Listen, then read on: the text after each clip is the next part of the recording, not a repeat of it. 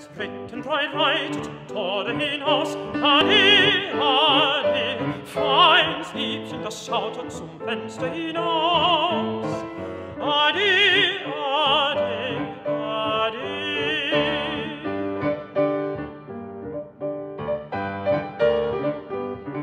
Und wenn es denn soll geschieden sein, so rein,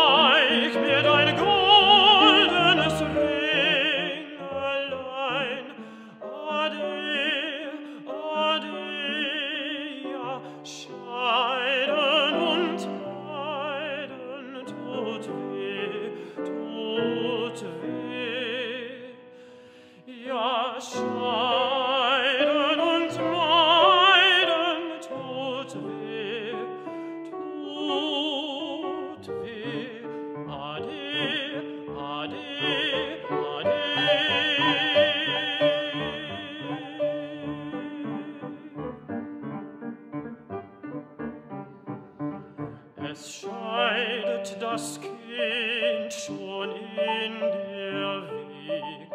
Ade, ade, wann wird ich mein Schätzel wohl kriegen?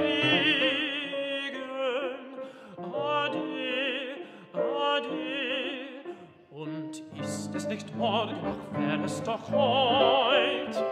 Es macht um uns beiden wohl große Freude.